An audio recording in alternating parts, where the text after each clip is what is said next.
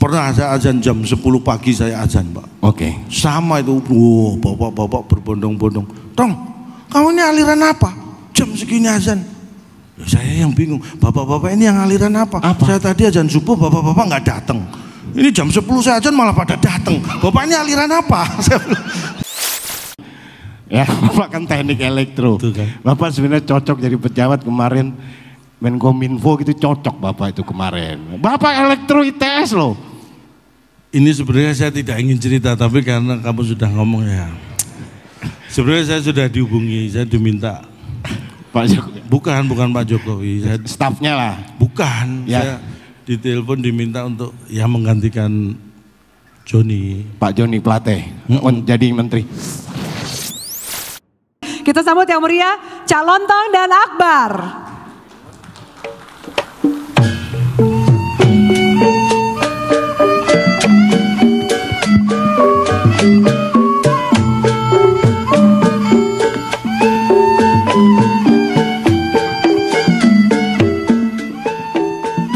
Assalamualaikum warahmatullahi wabarakatuh. Waalaikumsalam warahmatullahi wabarakatuh. Selamat malam, salam sejahtera. Ya. Luar biasa pada malam yang berbahagia ini. Pertama-tama saya ucapkan terima kasih Pak Mahfud sudah mengundang saya untuk hadir di sini. Dan saya juga mengucapkan terima kasih diberi kesempatan untuk bisa hadir di apa? Kita di sini untuk pemilu damai. Iya. Kamu jangan mulai manas-manasi. Maksudnya? Jadi kalau orang tahu hierarki, Iya. itu damai pasti bisa terwujud. Oke. Saya terima kasih ke Pak Mahfud. Kamu terima kasih ke saya yang ngajak kamu itu saya. Hierarkinya harus gitu Pak ya. Iya, Kalau iya. kamu langsung ke Pak Mahfud nanti lain kali Pak Mahfud langsung ngajak kamu nggak ngajak saya. Iya, iya. Hierarki. Iya.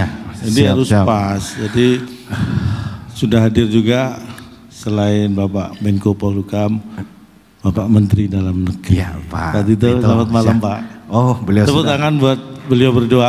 beliau sudah hadir di sini ya. Ya, karena sudah hadir makanya beliau Menteri Dalam Negeri. Kalau belum hadir, Menteri dalam perjalanan. Wah, mungkin seperti itu. Karena belum hadir ya kan. karena sudah hadir Menteri, Menteri Dalam, Dalam negeri. Negeri. Kalau belum hadir, Menteri, dalam, perjalanan. menuju ke tempat ini. Cocok ini orang kamu itu. Hah? Cocok, pinter. Oh jadi juru kampanye gitu memang pas tuh. Mulutmu itu bisa kanan kiri kanan kiri gitu. Ya memang kadang-kadang orang diberi kele- kelebihan ya. Iya. Salah satu kelebihan saya itu karena banyak kekurangan. Emang nggak ada yang nawarin kamu jadi di dalam pemilu ini kan menjelang pemilu. Pasti ada yang nawarin kamu jadi caleg dari partai-partai lah. Ini mohon maaf nanti apa ya, dikira pamer kalau tapi ini fakta ya. Oke. Bukan masa pemilu ini saja. Jadi sudah lama saya memang ditawarin banyak partai untuk pilkada gitu Pak. Ditelepon untuk jadi wali kota. Iya. Jadi wakil wali kota. Iya. Jadi wakil gubernur banyak partai mana telepon. Saya tunggu-tunggu. Saya telepon balik. Ini jadi nggak sih? saya tunggu-tunggu nggak telepon lagi gitu. Makanya saya telepon balik. Ini jadi nggak? Saya bilang gitu. Alhamdulillah akhirnya Kalau ini menjelang 2024 ya saya memang sudah mempersiapkan diri. ditawarin juga. Saya ditawari bahkan ini ditawari oleh partai saya dapat nomor urut jadi. Wis, nah ini ini menarik ini. Banyak partai besar yang pasti nawarin bapak, Ah. ditawarin mas ikut aja nanti dapat nomor urut jadi. Kenapa nggak mau? Karena saya pikir begini, saya Ih, susah loh itu susah loh, mas mendapat kesempatan seperti itu. Iya memang mungkin susah ya dapat nomor urut jadi susah. Tapi kalau saya pikir Iya. saya itu urut ke Haji Naim nggak Iya. pakai nomor jadi.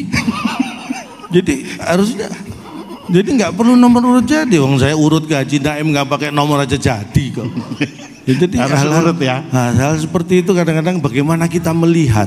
Oke. Jadi bagaimana kita melihat, makanya hal-hal yang sensitif terutama ya kita harus bisa memfilter itu. Ya, hoax apa akan mulai bertebaran. Mm-mm, karena apalagi isu-isu yang berkaitan dengan mungkin ya masalah agama, masalah ras Ya. itu yang sangat sensitif harus kita saling menjaga. Pernah punya pengalaman ini? Saya itu dulu kan aktif di apa masjid dekat rumah saya Iya. waktu masih muda dulu. Saya pernah digeruduk orang satu kampung. Karena Gara-gara saya azan asar Ya. saat maghrib. Itu. ya, Saya- ya itu salah kamu lah. kok salah saya gimana? Azan azhar pas maghrib. Loh, azan asar sama azan maghrib itu kan sama persis. Yang beda cuma azan subuh, ada as-salatu khairum minan naum ada. Iya. Kalau asar sama maghrib azannya kan sama persis Pak Mahfud ya? Iya. Saya digeruduk. Kok bisa tahu mereka membedakan saya azan asar dan azan maghrib? Iya. Itu kan sok tahu orang-orang berarti Pak ya. Iya. Orang saya yang azan perasaan persis sama. Iya. Pernah saya azan jam 10 pagi saya azan Pak. Oke. Sama itu, wow, bapak-bapak berbondong-bondong. Tong, kamu ini aliran apa? Jam segini azan. Ya, saya yang bingung, bapak-bapak ini yang aliran apa? Apa? Saya tadi azan subuh, bapak-bapak nggak datang. Ini jam 10 saya azan malah pada datang. Bapak ini aliran apa? Jadi kadang-kadang, kadang-kadang hal seperti itu kita itu boleh. Jadi intinya adalah Intinya adalah jangan gampang menyalahkan orang lain. Tapi- introspeksi itu lebih penting daripada bagaimana kita menyalahkan orang lain. Wes mantap. Intinya gitu, bukan kita ingin menjadi paling benar, tetapi menjaga kebenaran bersama itulah yang utama. Benar. Tepuk Boleh, tangan Pak, enggak apa-apa tepuk tangan. Yang panjang juga enggak apa-apa Pak. Ini yang saya biar agak bangga gitu pak. Nah, berkaitan menjadi seorang apa pemilihan umum kan sebentar lagi, Iya, oleh betul. wakil rakyat, caleg dan lain sebagainya. Sudah ada. Karena tidak gampang untuk menjadi seorang pejabat itu memang tidak Benar. gampang. Memang kalau kita menjadi pemimpin, kemudian mungkin calon wakil rakyat, itu satu hal menurut saya yang harus saya garis bawahi ya, bahwa punya harus punya sifat amanah. Itu yang utama itu. Apalagi menjadi pemimpin, Iya. ketika orang diberi kekuasaan, diberi wewenang, kemudian menjadi wakil rakyat, Heeh. itu amanah yang utama. Yang utama, Amanah dalam arti sebenarnya amanah, bukan? bukan aman ah. Beda, beda bapak. Tulisannya sama, Iya. penggalan sedikit aja. Amanah dan aman ah. Nah, ketika kita merasa aman ah, nah punya kekuasaan, punya anggaran begitu merasa aman ah, ceroboh. Menyalahgunakan kekuasaan, menyalahgunakan anggaran. Tidak Itu bahaya. gampang ya itu ya? Tidak gampang. Oke. Makanya karakter orang itu harus kita bangun mulai sekarang. Bapak Ibu, ini dua orang beda karakter. Kita akan menilai. Apa? Contoh, ini kaitannya amanah. Ya. Misalnya, seorang akbar jalan di jalan yang sepi, Iya. tidak ada orang. Ah. Tiba-tiba melihat ada satu lembar uang 100 ribu jatuh. Oke. Bukan milik kamu, Iya. tidak tahu milik siapa. Iya. Kamu ambil atau tidak? Ini nggak ada orang, nggak ada yang lihat. Saya ambil, tapi nggak nggak buat sebentar dong. Nggak nggak saya nggak buat saya. Saya berikan ke kotak amal atau ke orang yang lebih berhak. Saya berikan. Banyak orang yang membuat alasan sedemikian rupa supaya mengambilnya itu dimaklumi. Tetapi ketika uang sudah dipegang belum tentu berjalan sesuai dengan niatnya. Ini contoh-contoh, 100 Jangan- ribu diambil, niatnya saya sumbangkan, saya, ah jalan ada orang jual es, beli es, bisa jadi, Enggak. ya kan Pak ya? Kalau bapak nggak bapak Kalau, kalau saya seperti itu, saya nggak akan ambil uang. bener nggak bapak ambil? Saya nggak akan ambil. Kok nggak diambil? Lo kan sudah kamu ambil.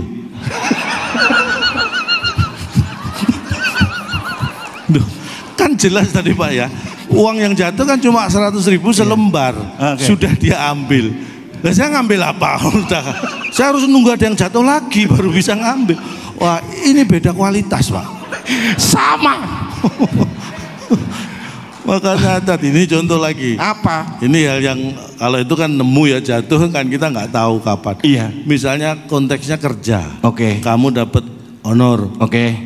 Bagaimana kamu membagi uang ini untuk tanggung jawabmu pada keluarga? Ya, ya misal nih, saya Misal. dapat job Mm-mm. 3 juta lah. Misalnya, Kalau saya ini saya ambil dulu sejuta, yang 2 juta un- untuk istri. Ini uang laki-laki lah istilahnya. 2023 masih ada suami yang seperti ini. Beda- Banyak orang seperti itu, Pak. Nah, jangan ngomong banyak, yang lain belum tentu. Anda ya Anda aja. Iya, 3 juta, 1 juta saya ambil, 2 saya kasih. Saya bukan sok, tapi saya tidak pernah seperti itu. Nggak pernah ngambil. Saya nggak pernah. Masa nggak pernah? Saya nggak pernah ngambil job kok cuma 3 juta itu nggak pernah. Mohon maaf ya bapak ibu ya. Ini berarti 3 juta masih diambil pak. Job Oh berarti saya ngasih kamu kebanyakan selama ini. Wah perlu dievaluasi. Ternyata 3 juta masih diambil. Iya, Nah, itulah. Kadang-kadang orang itu punya ukuran yang berbeda. Baik. Nah, berkaitan dengan rangkaian uh, pemilu ini sudah dimulai rangkaian. Sudah. pemilu mulai pendaftaran caleg, Bahkan pendaftaran mulai tahun capres, lalu sudah semua. Kemudian uh, Pendaftaran capres belum. belum. Nanti rangkaian itu yang paling rangkaian. rawan ini, Pak. Itu di setelah masa kampanye. Ya. Nah, ini yang paling rawan. Ada masa kampanye, kemudian ada masa tenang, baru setelah itu apa namanya? Pemilu. Pemilu. Masa tenang itu tanggal 11 Februari sampai dengan 13 Februari. Nah, ini yang perlu saya luruskan. Apa? Jadi ini kurang tepat. Jadi kalau masa tenang, Ya itu habis kampanye nih. Kemudian masa tenang itu 11 Februari sampai dengan 13 Februari.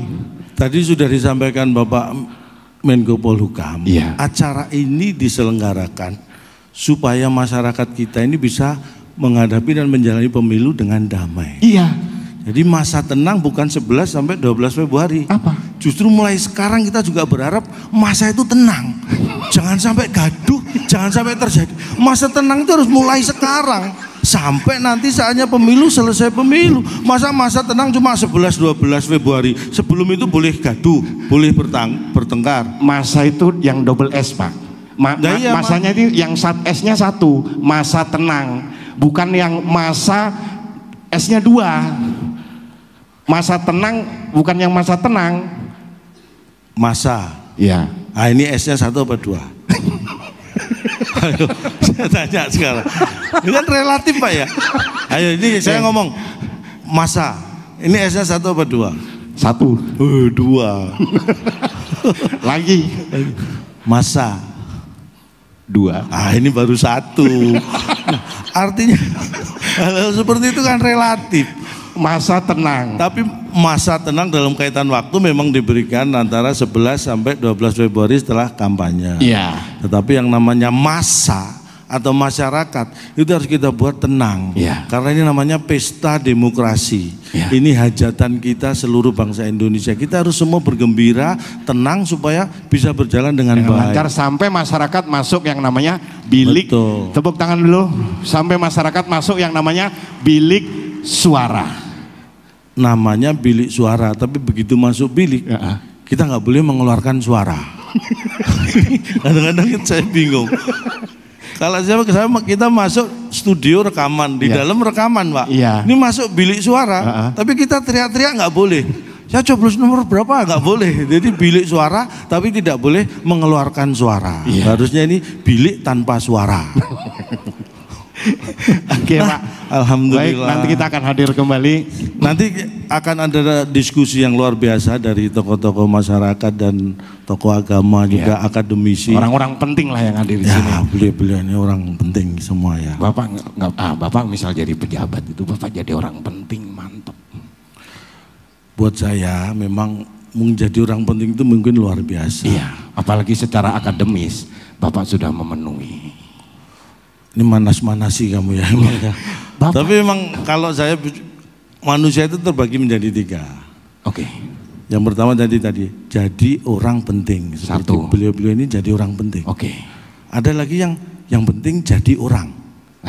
Yang kedua. Ada itu golongan yang gitu. Ya. Bapak? Pertama jadi orang penting, Iya. yang kedua yang penting jadi orang. Ah, kalau- Kalau saya yang ketiga, apa itu? yang penting orangnya jadi. Maksudnya? Ya kayak gini nih saya ditelepon Pak Mahfud Iya. diundang, yang penting jadi ini saya seneng. ini kalau ditelepon terus nggak jadi, aduh sedih saya. Buat saya yang penting orangnya jadi itu lebih menyenangkan. Apalagi dalam masa kampanye dan Ya. caleg, yang penting orangnya Nah, jadi. karena tujuannya seperti itu. Iya. Dan jangan lupa setelah jadi tetap amanah. Amin. Ya. Kesehatan itu yang utama. Betul. Apalah artinya uang Ya. kalau kita tidak pegang. Iya. Artinya kesehatan nomor satu. Gitu. Luar Ini biasa. sekali. Karena kalau acara seperti ini pasca pandemi memang kalau diundang acara itu lebih aman kalau mengenakan batik seperti bapak-bapak. ini. Iya. Karena kalau masuk ruangan Terus? pakai batik itu aman. Kenapa? Saya pernah masuk ruangan pakai batuk, malah disuruh swab. Mending pakai batik. Betul ya. Oke Mbak Yin, terima kasih Mas dari Bimbo Ya. Legend. Baik Bapak, ini berkaitan di ujung peng- Baik. ah, Bapak punya tugas untuk ah, menyimpulkan dari beberapa diskusi yang tadi materi yang Bapak Siap. sampaikan. Kami persilahkan. Terima kasih. Saya akan berusaha untuk menarik kesimpulan. Baik.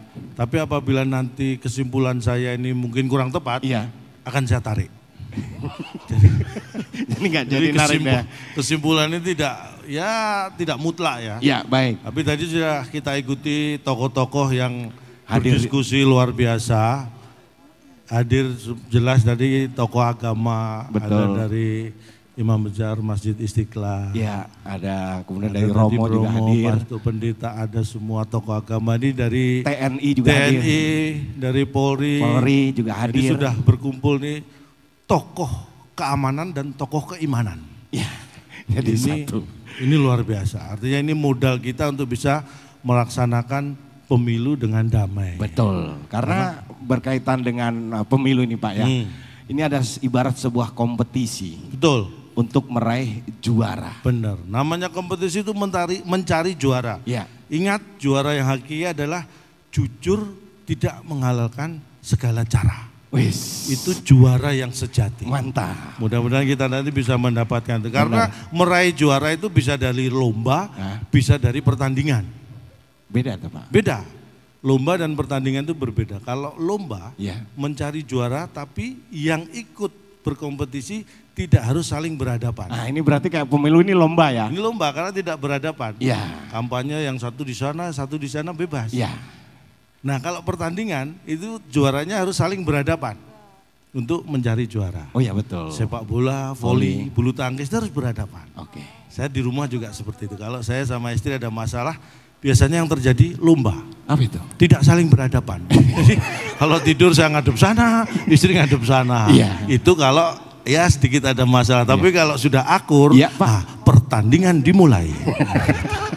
Tapi biasanya nggak lama langsung keluar juaranya ketahuan. Siapa Pak? Istri saya. Itulah, walaupun itu tetap harus menjaga. Nah, Dan juga tadi ada pertanyaan bahwasanya memesankan kepada yang namanya Bawaslu untuk selalu memegang komitmen Pak. Iya, benar. Komitmen itu penting sekali. Komitmen bukan hanya komit kepada teman. Ah ya, Tapi ini komitmen adalah kebersamaan kita harus fair. betul. Apalagi tadi juga disinggung bahwa digital ini yang harus Ah, kita waspadai. Waspadai. Banyak hal-hal yang terkait dengan digital yang justru akan membawa suasana panas. Karena di- ribut. Ini harus kita hindari. Contoh sederhana. Digital yang bisa membuat suasana panas sederhana. Handphone aja. Oke. Handphone itu kalau saya di rumah, Ya. malam dibuka-dibuka istri ya. Ya. Besoknya pasti ada ribut. itu di rumah saya gitu. Masalah handphone saja kalau sudah dibuka-buka sama istri saya, handphone saya. Ah. Besok paginya saya jamin pasti ada ribut. Jadi saya ribut sama istri. Artinya apa? Digital itu tanpa kita sadari menghadirkan ribut. Karena ada saya, saya ribut sama istri. Nah, ribut ini siapa? Ini hadir karena digital. Digital. Makanya saya sudah bersumpah saya bertekad nanti masa Nah, ini kampanye. tips Pak, tips tips. Ya ini tips yang yang akan saya praktekkan juga kebetulan nanti mendekati masa kampanye atau masa kampanye, saya akan keluar dari semua grup WhatsApp. Karena itu apa ya? Banyak hal-hal kadang-kadang hoax, fitnah, Sharing ini. Si. A itu si ini. bahaya. Makanya saya akan keluar, saya pertahankan hanya grup WhatsApp yang ya membernya kira-kira 60 tahun ke atasan lah usianya. Kena grup-grup apa itu Pak? Ya misalnya grup kayak grup senam pagi, Ya. grup jalan sehat Ya, itu kan saya grup tai chi. Heeh, karena yang di share biasanya menyejukkan kalau usia 60 tahun ke atas. Apa yang di share biasanya? Biasanya ya manfaat buah mengkudu untuk menjaga kesehatannya.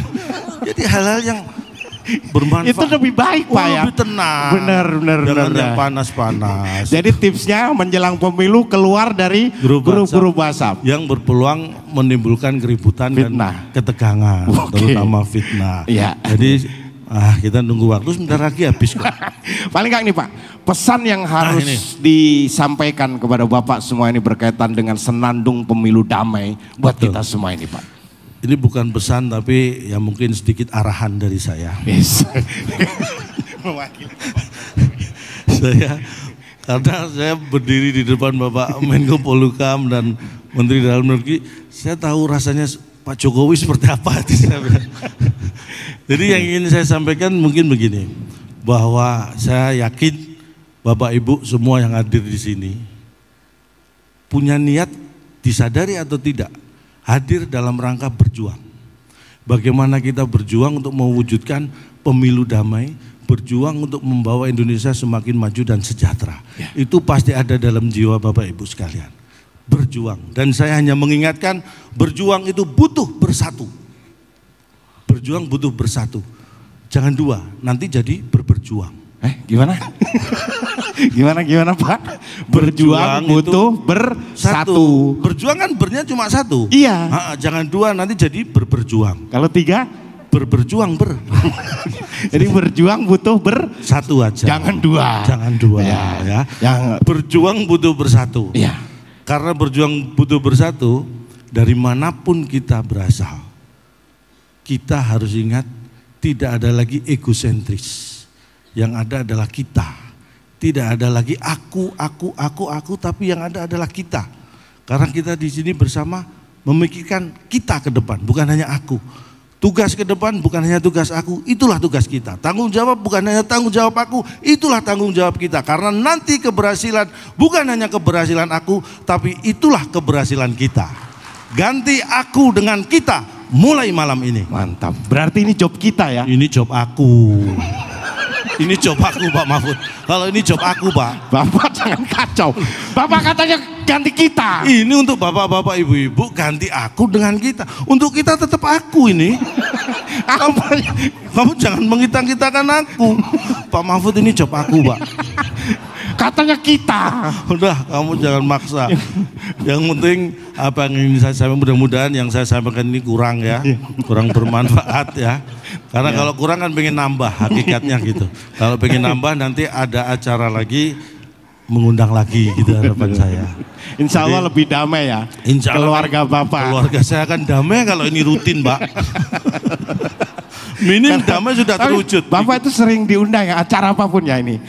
Bang-bang masalah ekonomi diundang, masalah hukum diundang, acara gini diundang. Padahal Bapak teknik lulusannya. Oh, walaupun saya lulusan teknik, tapi kalau masalah hukum, ekonomi, saya paham betul. Kenapa Pak?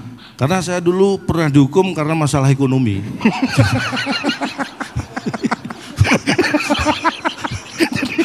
Bapak paham ya, teknik, Pak. menguasai segala bidang ya. Udah jangan diungkap. Ini Ya. mungkin sampai Aduh, di sini Bapak, bisa saya Bapak sampaikan. harusnya kan teknik elektro ya. Ya, Bapak kan teknik elektro. Kan. Bapak sebenarnya cocok jadi pejabat kemarin Menkominfo gitu cocok Bapak itu kemarin. Bapak elektro ITS loh. Ini sebenarnya saya tidak ingin cerita, tapi karena kamu sudah ngomong ya. Sebenarnya saya sudah dihubungi, saya diminta. Pak Jokowi. Bukan, bukan Pak Jokowi. Saya, Stafnya lah. bukan, Ya. saya ditelepon diminta untuk ya menggantikan Joni. Pak Joni Plate Mm-mm. men- jadi menteri. Enggak, mengganti, menggantikan sidang. Makanya saya tolak. Makanya saya tolak karena menggantikan sidang. Malah nanti saya yang di dalam repot.